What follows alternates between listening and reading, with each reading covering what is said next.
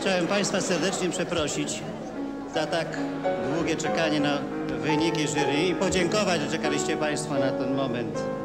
Jury zdecydowało przyznać drugą nagrodę panu Kevinowi Kennerowi.